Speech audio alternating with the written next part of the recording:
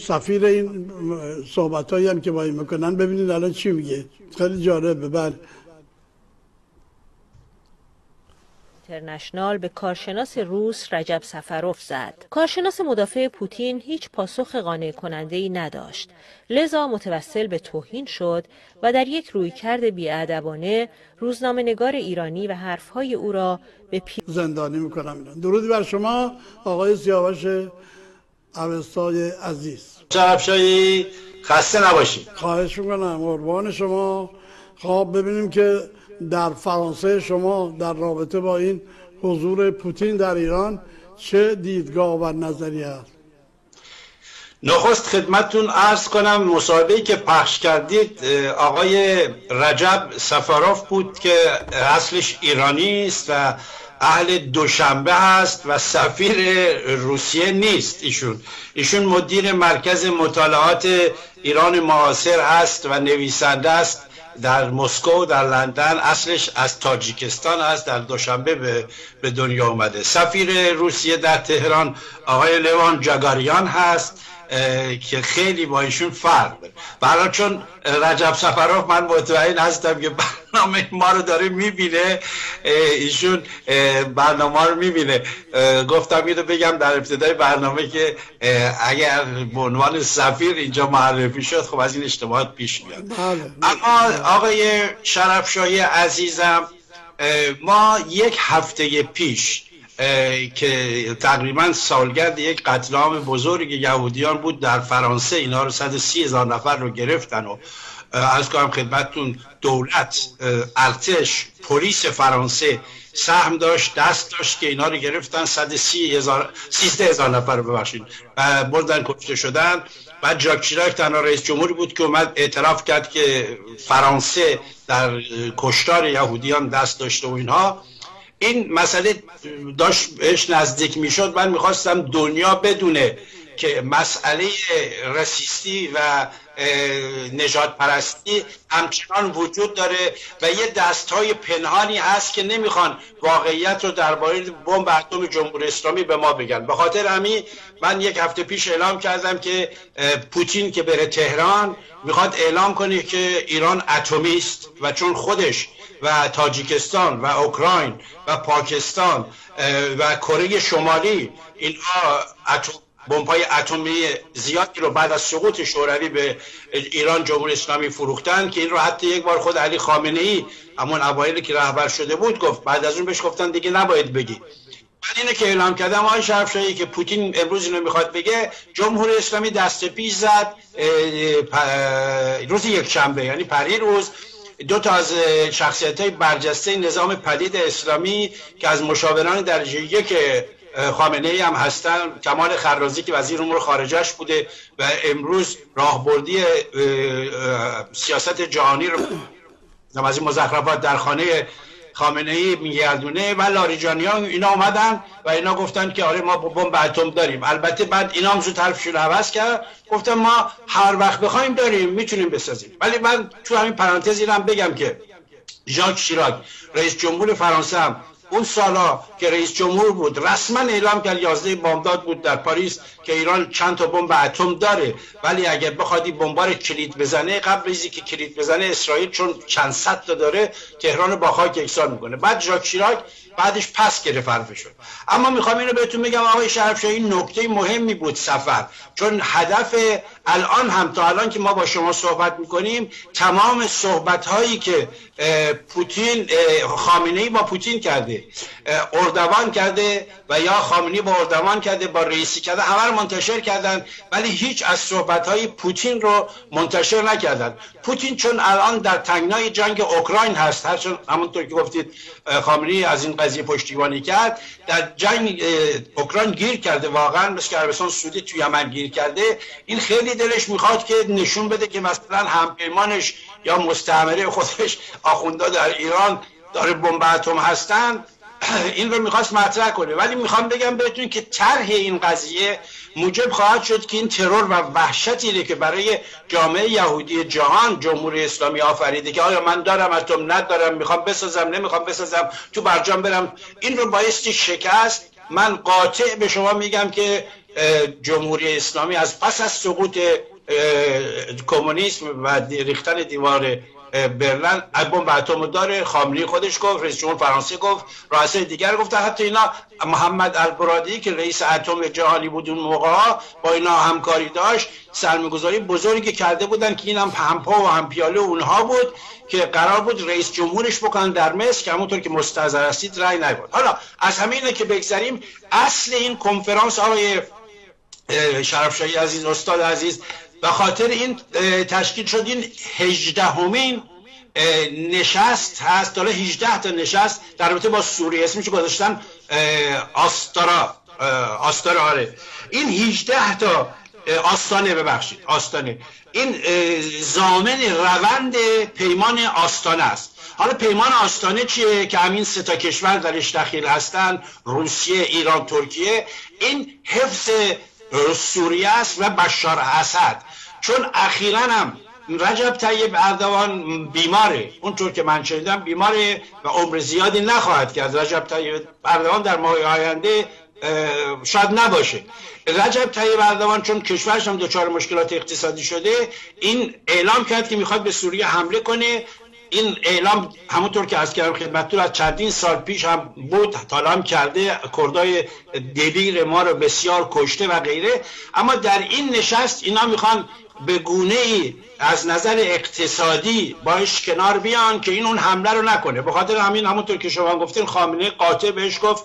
خیلی جالب بود که قاطع می‌گفت که تو امریکایی هستی تو اسرائیلی هستی. البته قاطع طور که من میگم نگفت ولی به زبان آخوندی گفت اسرائیل و امریکا اینها عامل اختلاف هستن چه چه و غیره. ولی سی میلیارد دلار آقای شرفشویی. رئیسی امروز رسما اعلام کرد که سی میلیارد دلار اینها تبادل اقتصادی خواهند داشت. یعنی حق حسابی که اول دادن به اردوان که حمله نکنه به سوریه. و هدف اصلی از این نشست اونجا نخست همین عدم حمله به سوریه است. و بعد پیمان آقای پوتین به عنوان مهاجم با اوکراین و خط دومی که در جهان می‌خواد به وجود بیارن مینا می‌خوان مستحکم تر کنن که ایران را وارد بریکس کنن. بریکس پنج تا کشور هستن که روسیه چین برزیل آفریقای جنوبی و هندوستان. اینها متحد هستن از نظر اقتصادی که می‌خوان دلار رو بذارن کنار.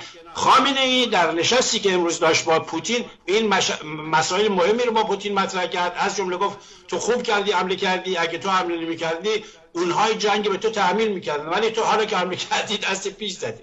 علیه ناتو حرف زد و غیره و به این نکته تاکید کرد که هدف دیرین جمهوری اسلامی هم این بوده که دلار رو در جهان ایزوله کنن و با این جنگ نو جدید که یک خط جدید یک قدرت جهانی جدیدی به اصطلاح همینطور مهاجم پدید خواهد اومد به دلار ضربه وارد خواهد شد. بله ولی در حال حاضر خود روسیه دچار مشکل مالیه و این در حال همه کشورها تحریمش کردن به این شکل. ولی خب یکی دیگه از دلایلش که برای هر ایرانی باید واقعا دردآور بشه اینی که خب مردم اوکراین بدبخت این همه 5 6 میلیونشون آواره کردن. هر روز بمب میندازه تو خونه های مردم مردم بیگناه رو می‌کشه. بعد این مردک با فیوز میاد اعلام می‌کنه که آقا من کار شما خیلی درست بوده و ما هم حامی شما هستیم در این رابطه. خب البته اوکراین یه درد دیگه هم از این جمهوری اسلامی داره. اون هواپیماشو که زد اون افرادی رو که در آن واحد همشون رو کشت هنوز هم کانادا دنبالشه. خود اوکراین هم از یادش نرفته. بله. بله یکی از خطرات دیگه که متوجه ایرانیان مهاجر عزیز ما هست که تو این قرارداد امروز رئیسی مطرح کرد من شنیدم با رجب طیب اردوان که بود. چند مورد رو گفت ما امضا کردیم که یکی امنیت مرزی بود. این مهمه. معاملات سی میلیارد دلاری و قرارداد 25 ساله رو گفت. مبارزه با تروریسم و مواد مخدر و مبارزه با جرایم مافیایی. تمامیت ارزی سوریه رو حفظ بکنیم و در منطقه صلح. نکته اولش همین امنیت مرزی هست و مبارزه با تروریست که هر چند تا کنون هم ایرانیان عزیزی که فرار کردن از ایران و در ترکیه بودن جانشون در خطر بوده در امنیت نبودن از این پس با این قرار داد. این بچه هم که در ترکیه هستن شوربختانه در خطر قرار می‌گیرن. چون ترکیه آقای شرفشاهی استاد یکی از راحت ترین کشورهایی بود که چون ویزا نمی‌خواد بچه ها که می‌خواستن از کشور خارج بشن و مهاجرت بکنن به ترکیه می‌رفتن. ولی توی قراردادی که امروز رئیسی امضا کرد با رجب طیب اردوان شوربختانه این مسئله یکی از موارد هفتگانه بود که مد نظر بود که بخوان مزاحمت برای هرکی پدید بیارن میارن. در رابطه با عبور از تحریم ها که فرمودید آقای شرفشاهی جمهوری اسلامی الان چهل و سه ساله که از روز اول تحریم بوده و با یک سیستم تشکیلاتی قوی و شیطانی که داره که من این خواهش کنم همه برنامه سازها بهش توجه کنن. یه درسی است که دارم میدم اینو باید توجه کنید که چرا جمهوری اسلامی تا حالا مونده و چرا الان دیروز اومده تو خیابون ولی از سه کیلومتر آدم آورده واسه قدیر محمد و علی که محمد میاد میگه من کنت مولا. فهازا علی مولا مولا و موالی بردهداری است. ایشون میگه من هر کی رو که صاحبشم که بردست از این بعد علی است. یعنی وارث خودش وارث اقتصادیش می‌گذاره دامادش. ولی اگه می‌خواست بگه خلیفه من خلیفه عربیه. اگه می‌خواست بگه جانشین من رهبر قائد زعیم من به عنوان متخصص زبان عرب میگم. از این واژه استفاده میگم ولی می‌خوام بگم روزی که محمد آمده داماد خودش به عنوان وارث مالی خودش اونم صاحب برده ها برده ها رضا شاه در ایران بردهداری را لغو کرد. اومده اعلام کرده مردم به هم تبریک میگن. من مطمئنم استاد شرف برای شما هم صد تا تبریک عید قدیر رو خوب فرستادن. تا این حد ما ابله نیست مردم ما. مردم ما داناست فهمید است. می‌دونید ریشه کار چیه؟ ریشه کار اینه که می‌خوام بگم. ما نمی‌دونیم. در ایران دو حزب قوی و مقتدر وجود داره که همین دو حزب هم در خارج از کشور کمکش کردن که از این تحریم ها تا حالا گذشته. یک سادات تازی هستند سیدهایی که در اکادمی ها دانشگاه ها حتی در تا دربار نفوذ داشتن و الان هم هستن و حتی اون برگر دادن به شاه شاهنشاه یا بخونه و چه چه و روحانیت. روحانیت آقای شرفشاهی و سادات تازی اینا دو تا حزب مقتدر و قوی هستن همه بچه هاشونه که اینا فرستادن تو خارج از کشور با میلیون ها دلار اینا همه کاراشون پولشویی است و بله. گذر از تحریم از اون طرف توی لبنان یمن عراق و دیگر کشورها باند شیعی که ساختند حتی در شمال افریقا اینها همه تشکیلات مافیایی است که کمک می‌کنه به اینها که شوربختانه نه مردم ما این رو می‌فهمند نه جهان فهمیده که بخواد با این مبارزه کنه چجوری باید بکنه. بله. البته این که با ترکیه یه قراردادی بسته در زمین مواد مخدر باید بدونیم که اینا که سپاه پاسداران خودش یک ارگان ویژه‌ای داره برای تولید و پخش مواد مخدر که در سوریه یه مرکز بزرگی اونجا درست کرده. از سوریه مواد مخدر رو توضیح می‌کنه به سراسر جا بنابراین که یک رژیمی که خودش تولید کننده مواد مخدر تولید کننده بزرگ از این راه سپاه پولی کلونی به دست میاره که بعضی ها شامگیر میافته در پاره از کشورها. خب این میاد دیگه قرارداد امضا کنیم که مواد مخدر جلوشو بگیریم. چجوری؟ از این با هم منافات داره. مگه میشه؟ تو خودت داری در سوریه بزرگترین پایگاه مواد مخدر درست کردی؟ حالا میگی بیا آقا ترکیه قرارداد ببندیم. مواد ترکیه چه ارتباطی داره؟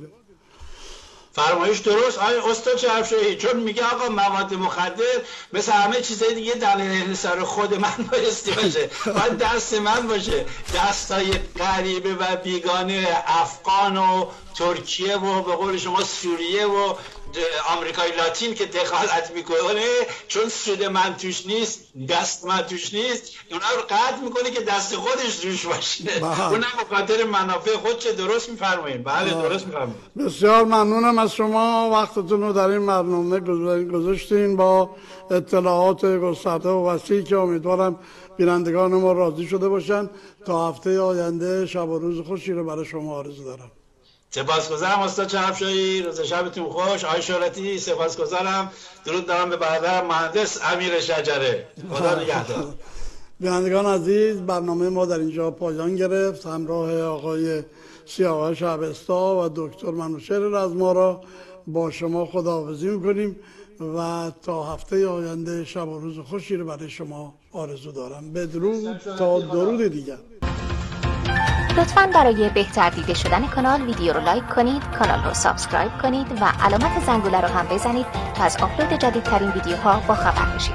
از همراهی و حمایت شما سپاسگزاریم